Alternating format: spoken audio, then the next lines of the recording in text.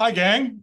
Um, this is interesting. Um, I've mentioned before, I think that we did a class like this um, five, six years ago, um, 2018. Um, it was a much different class, though. But one of the things I did at the end of that class, on the very last day, is I kind of drew the curtain back and I talked a little bit about the class itself, why we did the class, what we were thinking about doing the class, we asked the students themselves if they thought the class was was a success or a failure or what they got out of the class. Now, obviously, we can't have this conversation with you guys because, again, this is one way. We can't be nice if all of you were on a Zoom call with us to to to talk to us, but you, can't be. So I thought we we'd use this last video to talk a little bit about what went into the class, what were some of our decision making, why we decided to do this class. And again, just pull back the curtain a little bit and let you know about a little bit about the decisions that went into the class and and why we thought the class was important. Now, again, we did a class back in um, 2018. That class was focused only on um, stuff um, up until the 1940s.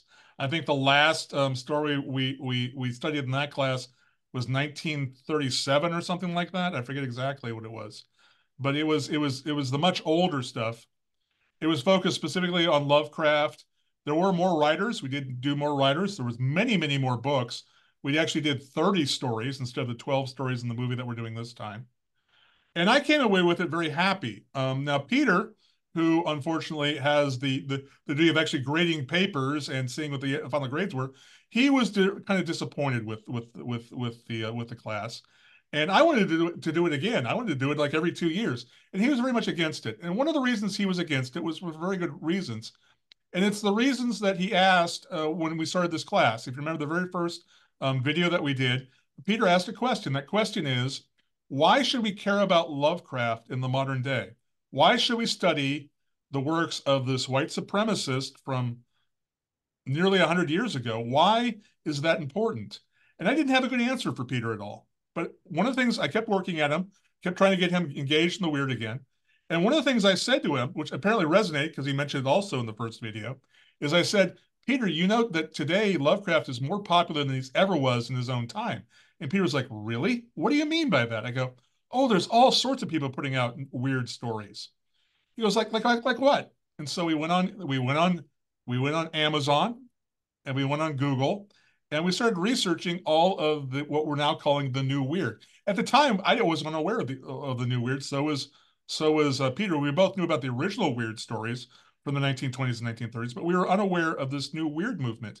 And the more we began to read about the new weird, the more engaged we became, and the more we be became excited again to do a story like this. Because again, one of the things the new weird does is it not only it not only retells the weird stories, but as we've shown, it basically allows people to go back and look at the older stories and saying, if you want to reinterpret this for the modern world, that's great. Go ahead and do that. And it kind of gave us permission to go back to the old Lovecraft stories and say, if you want the the the, the other to be a story about transgenderism, absolutely you can do that. It so we really think of the new weird as something that's not just the author, not just the author's intentions, not just the story, it's also the reader. It's the attitude and self-awareness of the reader. The new weird is a way of appreciating not simply new weird stories, but old weird stories too. And in so doing, when we appreciate the old weird from the standpoint of empowerment, cosmic otherness not as a source of dread, but a source of transformation, becoming something new, a new way of connecting with other people as well. Something extraordinary in a positive sense. When we bring that kind of enthusiasm to bear to look at the old stories, for instance, our Orange Book stories, our four Lovecraft stories at the beginning of our course this semester, we actually have new insights that are very valid for those old stories. For instance, The Shadow over Innsmouth, as, as Ryan pointed out, um, the taboo, the dread, the horror in that story, okay, is miscegenation, which is racial mixing, a racial taboo, okay, in uh, late 19th and early 20th century America, the idea that our family may have mixed blood, a mixed racial history. Okay, that was the to the taboo. That was the thing to which dread or fear attached. Or at least that seemed to be part of Lovecraft's intention. But now, when we look at it from a new weird standpoint, we see how miscegenation or racial mixing is the salvation of the unnamed narrator. And whenever somebody's not named in the weird, when somebody is unnamed, we know it's everybody. But racial mixing becomes a vehicle for immortality because our main character, the unnamed narrator in The Shadow over Innsmouth, decides not to kill himself, not to emulate uh, his uncle Douglas, who killed himself when he found out more about the family side, the orange side of the family model. Instead, our unnamed narrator decides to rescue his cousin and to answer the call of his grandmother, that voice of his grandmother he hears in his dreams. What lies before him is not something of dread. It's something, it's something, uh, it's almost like something from the Psalms. It's almost something biblical. It's a it's a cosmic afterlife, a kind of immortality. And that's only possible because of the racial, the racial, the racial mixing, the miscegenation. So in the new weird, the dread attached, the dread attached to cosmic otherness. Instead, now the dread moves away from cosmic otherness, cosmic otherness becomes actually a form of hope. However painful it might be, however extraordinary the nature of the transformation, the prospect is hopeful, and dread now attaches to ignorance, to who we thought and what we thought and how we thought before knowledge intruded. Now knowledge is our friend in the new weird. It's that self-aware dynamic that gets excited about transformation, okay, instead of fear attaching to that prospect of transformation. And there's also the normalization fits into that, the idea that the weird becomes knowable uh, again, uh, Lovecraft wrote one of his stories, which was literally called "The Unknowable," and and and, and basically, the New Weird says no, it can be knowable. If you guys are interested in the New Weird, one of the books that we first got when looking at the New Weird is this book right here, The New Cthulhu. This has the Elizabeth Bear stories that were used for this class. We wanted to have you guys pick up this book, but unfortunately, it's not in print currently. There is a copy here at the library, though. If you really love the New Weird, this is the book to go with. This is the book to go with. Really, really great stories. But uh, we went through this and we began over time. Just, I mean, this has been a really fun class for me and Peter because we were able to find we when we started this class in January, we're not at the point that we're at now. We did not see half of the things that we see now from it. Uh, we saw the empowerment model, but a lot of the little details, a lot of the idea of reversals and creating something new and and and self-awareness those weren't necessarily on our mind we were simply looking at the new weird and empowerment model let's briefly look at some of these uh, themes one of the themes or motifs is reversal in in uh, shoggoths and bloom Professor Harding sees the Shoggoths at first as just specimens. He sees them as a potential for career advancement. Then then, when they make themselves known to him, when they connect to his mind, he sees them as a means to an end. Okay, they are monsters he can harness to do what? Defeat racism. It's an opportunity for those who had been slaves to now be masters, and he could ride these Shoggoths into victory over Nazi Germany. But then that's not how the story ends. He doesn't, and he does not fulfill the reversal model. The reversal model says we we're merely going to put the person who used to be on the bottom on top. A reversal model simply means I may have been a slave before, but now I'm going to be the master. As tantalizing as and exciting as that is, okay, because I kind of like the idea of riding Shoggoths into victory over Nazis, okay, as irresistible as that is, uh, Ryan made the point to me that we're not going to see that in the new weird. Instead, we're going to see a different type of decision, not reversal. And here's the interesting thing is you can go back and actually apply that to the old weird as well. Peter was talking about um, Shadow over Innsmouth. Now, how does Shadow in Innsmouth end? Does it end with the with the deep ones getting their revenge upon the narrator who has called down the U.S. Navy and the FBI upon their town, destroying them? No, they open they welcome him with open arms. They forgive him completely and accept him. Isn't that wonderful? Now, uh, again, uh, Lovecraft screaming in my head, "No, that's horrible!" But that's the power of the new weird. Is again, it can it can find these meanings in the original works that weren't intended. You you, you know, um, uh, when we go back and we look at when we look at old weird, uh, we see the potential, we see the prospects of empowerment, and they're legitimate. We're not reading something into the stories that's not there, but we are definitely noticing and appreciating things that require a certain kind of attitude, an attitude that says cosmic otherness is not the problem. Okay, the problem was ignorance. Okay, uh, ignorance is the thing to which fear should properly attach. We, we've introduced this idea of the mundane. Now, in the new weird, fear does not attach to becoming or embracing cosmic otherness. Fear attaches to the prejudice, okay, to the dark side of ignorance. Okay, and we see that very much in Matt Ruff's novel, in which each chapter is a story particularly in the first story, Lovecraft Country. Okay, the thing that we fear is 1950s Jim Crow America. That, properly speaking, is where fear should attach. That's the mundane. What, what do we mean by that?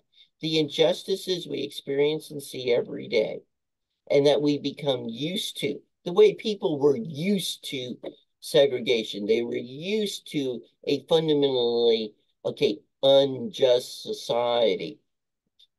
That society that necessitated the Green Book, by that I mean not the diary in the white people, but the Green Book was a travel guide, okay, for African Americans, okay? So they could literally, literally navigate Jim Crow America. It's Jim Crow America that deserves our fear and our apprehension. Okay, it's Jim Crow America that requires the navigation of the real life Green Book. So it's interesting that you bring up the Green Book, though, because again, the Green Book serves as a model of escaping the patriarchy of Victorian England, though, at the same time. It's interesting that we see these sometimes literal parallels between between between the Green Book and the Green Book in this case. Um, that's that's something interesting that pops up once again. By the way, that that was probably a coincidence uh, more than uh, more than anything else. But it is interesting that, that that that sort of stuff does pop up now and then. That you can you can make these correlations between things. I thought. Well, no, go ahead. No, I, I was gonna. Uh, I wanted to uh, bring up our movie Annihilation because that was something we debated. Oh yeah. We we we were uh we were thinking about a movie, but you know uh uh, I I didn't know what to do with this movie at first because I had watched it late at night on TV on cable, and I had seen it in the theater. Okay, and I, I really had, was not paying attention. I'm sure I was drifting in and out of sleep. Okay, on the couch, and what I thought I saw was a lot of body horror, almost a Cronenberg. If some of you some of you are horror fans, you may remember Cronenberg and body horror, and so I didn't make the connection I didn't see the new weird in it until literally Ryan set me down and said, look, okay, this movie and this movie epitomizes it, exemplifies some of these some of these dynamics that we're looking at in regard to the new weird. And uh, by the way, the same exact thing happened with me. Peter says we're going to do Lovecraft Country. I'm like, okay, fine, I'll read Lovecraft Country. And I read the first chapter of Lovecraft Country, Lovecraft Country, and I was like, what the heck is this? This is not the weird. This is there is there's no existential dread in this whatsoever. There's what's what's Peter trying to tell me here? This is this is terrible. I hate this guy's writing style. I hate his pacing and stuff like that. But again, Peter said, keep at it, keep reading it. There's gonna there's more to it than you think. And slowly I began to see what Matt Ruff was trying to do. I began to understand him. I was able to look past my own prejudices. And again, I still think Matt Ruff's uh, writing is horrible. I think it's very flat. I think his pacing is is dreadful. Uh, I'd like him to use a few more adjectives, um, but uh, but I recognize it is a work of genius. It is a landmark work in in in in the new weird. It is it is really doing very, as I mentioned before in the videos, doing really clever things. Same thing with Peter. Peter does not like the violence. He does not like the body horror and gore of Annihilation. He wishes those things were not in the movie, but he also recognizes the movie for what it is a, a brilliant uh, uh, work on the on the part of Alex Garland to talk about the new weird. Yeah, the issue with Matt Ruff's novel, okay, is not his subject matter, which is brilliant. Okay, uh, but the uh, but the the the problem is the writing style. The writing style is just straightforward third person adventure instead of the interesting structuring of a lot of our weird stories, which gave us sort of a outside narrator who it's at scene not to have any stake in what's going on, and then that narrator becomes re revealed as somebody who's much more uh, involved in the story than we realized at first, even more so than the narrator uh, uh, realized. You know, that layering of consciousness, okay, by having multiple narrators, oh, that's so weird. And that's not in Matt Ruff's story. One of the things that makes Annihilation such a successful weird movie is what happened between the original shooting script okay, and the final version of the movie, which was the introduction of Lomax, the character in the hazmat suit who interrogates Lena. That becomes a framing device, like the framing device of Ambrose, okay, in the story, The White People.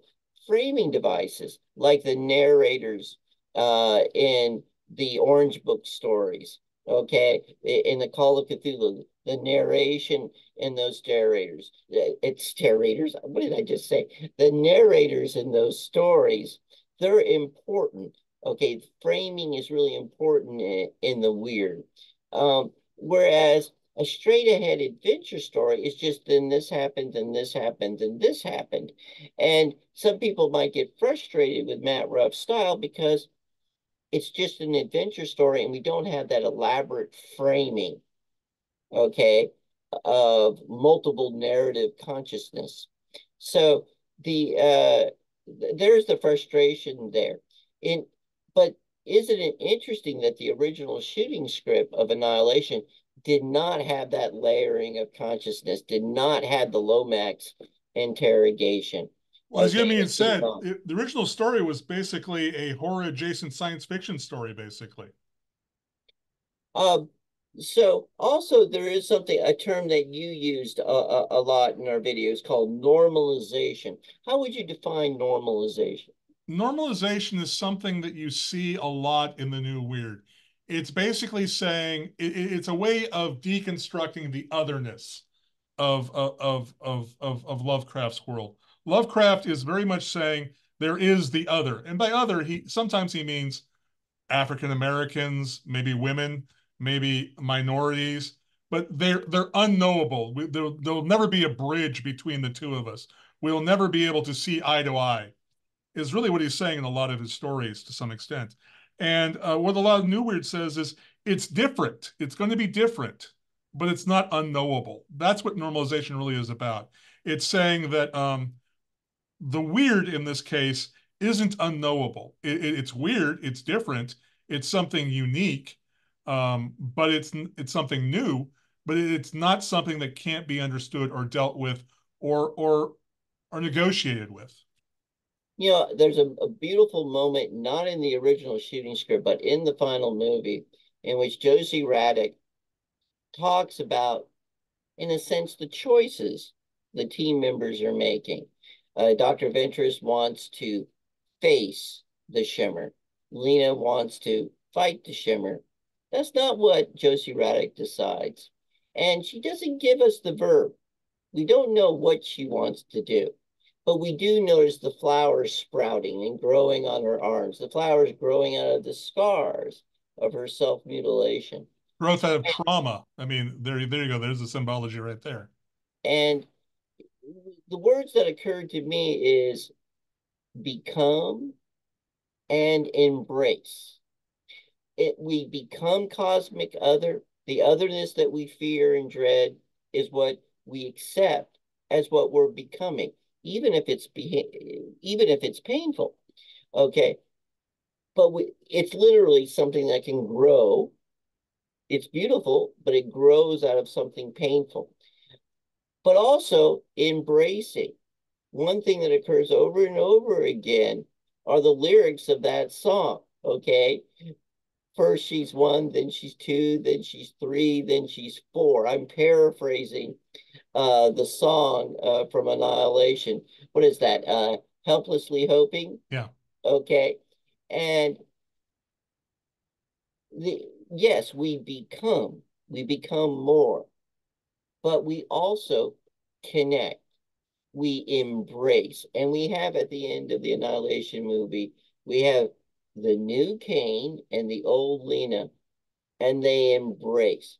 And we see in each of their eyes, in both sets of eyes, we see the shimmer. I guess to finally um, end up is I just want to mention the fact that, again, each of these stories was picked for a very specific reason.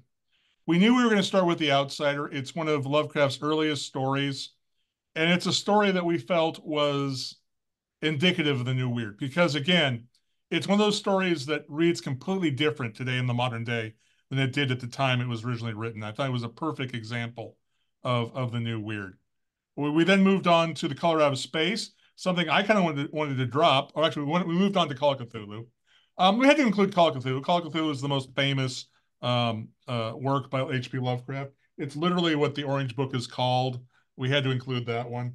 And again, it brings up the idea of this mythology and this other world and things of that nature. Uh, I wanted to drop Color Out of Space. Peter was like, no, we can't drop out of, Color Out of Space. That has the the unholy Pentecost, that has the belonging, that has the becoming, seeming destruction, which actually results in in a in a greater becoming of the world around us.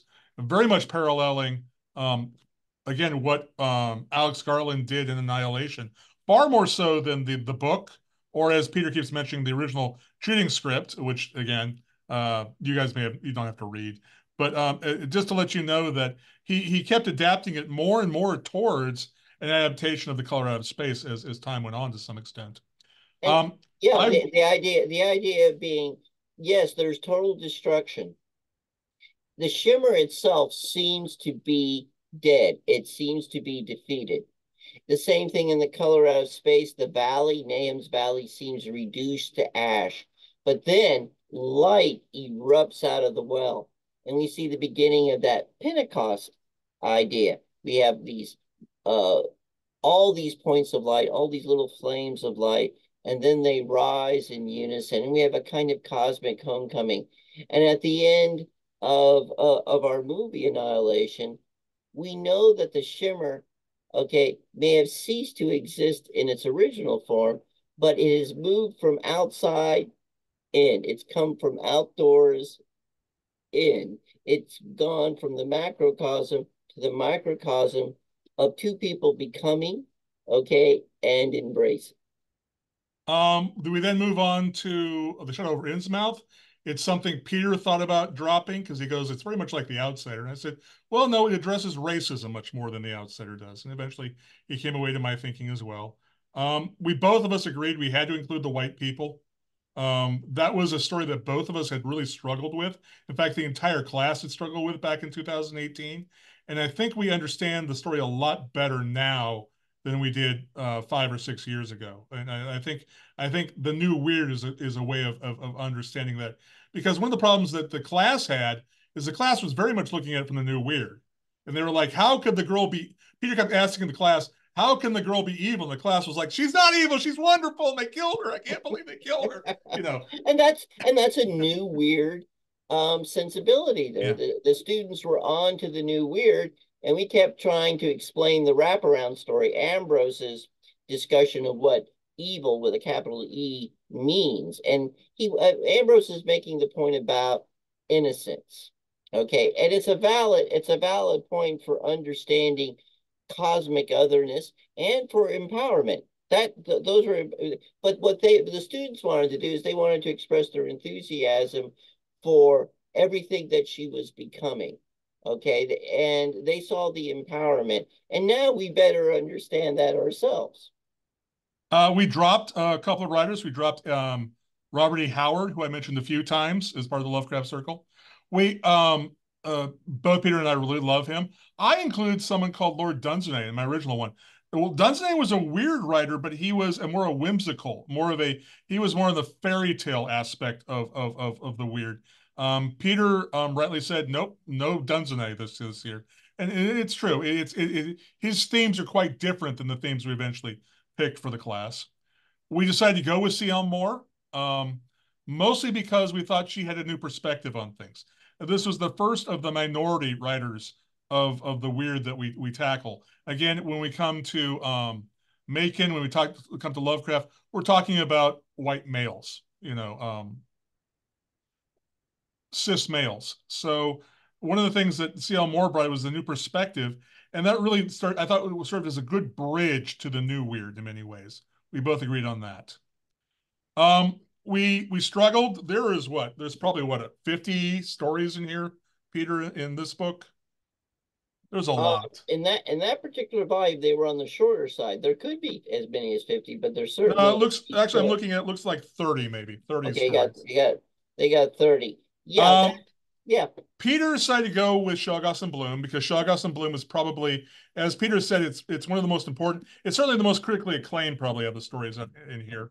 Um, and it's the most critically acclaimed and most important uh, story uh, uh in terms of new weird written post 9-11 yeah. you know in the last 20 years okay this this this is a this is a uh, it's really hard to beat Shoggoths and Bloom in terms of touching all our bases for everything that we associate with empowerment in the new weird. And to tell you the truth, we were a little lazy and we went, what else, what other story do you want to do?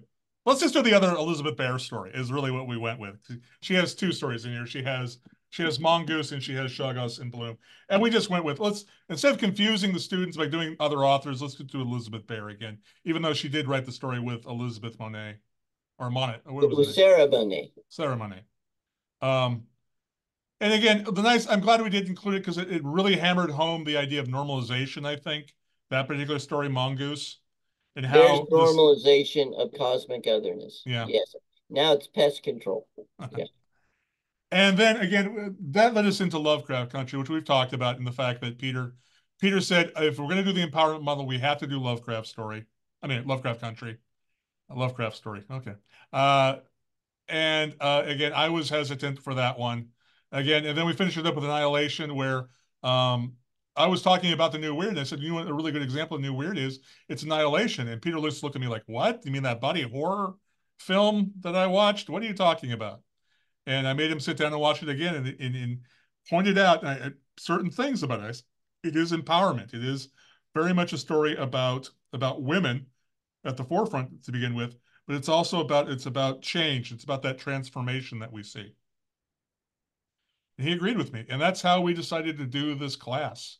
Uh, if you guys want to, go ahead and comment on this video what you thought get out of the class, if you got anything out of the class. This is going to be a more a longer rambling um, type uh, uh, type uh, video. We've we were mostly repeating a lot of the things we've already said in the other videos, but that's okay. I wanted to again uh, pull back the curtain a little bit, let you guys know why we decided to do certain things. You can thank us from from taking the original 30 stories we had and limiting it down to to just 12. But again, those original 30s stories were just like, okay, what are the best stories of the weird is really all we were looking at. This time we really trying to focus down on what are we trying to say as the overall theme? What are we trying to say about this overall theme of empowerment, transformation, normalization, reversal? And, and it's interesting because a lot of, as I mentioned before, a lot of these themes came about as we were doing this class. Um, me and Peter were able to discover these things as we were reviewing this stuff over and over again. We, we talked about this class for two years before yeah, we yeah. before we proposed proposed it. Uh, uh, and uh, you know, it was 20, it was the spring, I believe, spring, I believe, of 2018. And then we just forgot about the weird for a few years until Ryan kept bringing it up. And so we talked about it for a couple of years and we kept talking about it right up until the beginning of the course. And we've been talking about it after the course too, because we've made discoveries just by doing these videos, by going through and reading the story five times over and taking copious notes. We began to see certain things and decide, well, let's talk about this. Let's talk about that. Sometimes, I hate to admit it, sometimes I came up with stuff in the middle of the video suddenly, or Peter would ask me a question before we started the video, and I let it mull around in my head. And eventually, by the time we get to the video, I am able to answer his question. Yes, it's it's it's been it's been a wild ride, and we've been learning things over the course of these videos, just in our discussions, and um, coming to a little better understanding with each video. I hope uh, an unfolding thing.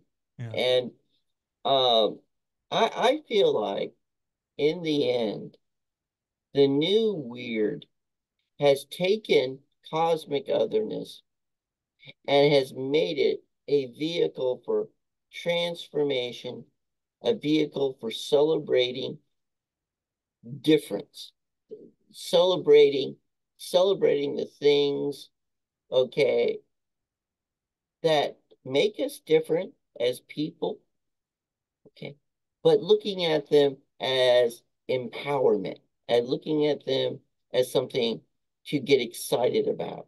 In other words, we've taken the issues, okay, that were supposed to be a thing of dread, okay, in the old weird, okay, and miscegenation, you know, the taboo of racial mixing, patriarchy yeah. Okay patriarchy okay all these all these things okay? But we have looked at we have looked at cosmic otherness now not as something to fear but as something to embrace. Just as the outsider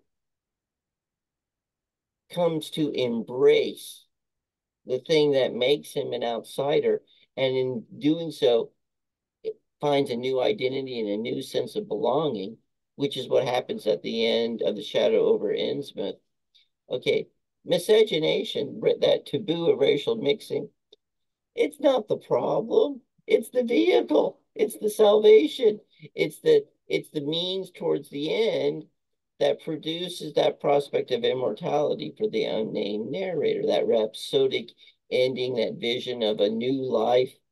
Okay, the call of the grandmother and, and the unnamed narrator's dreams, all those very positive things come from embracing cosmic otherness. Well, maybe we should end it right there. I think we should end it there. Thank, thank you so much for taking this class. Thank you for your feedback you've given. And again, if you guys want to on this last video, please talk to each other. Please, you know, leave leave comments and stuff like that. We'd love to see what you guys think about the class. And uh, hopefully we'll do this again sometime, Peter.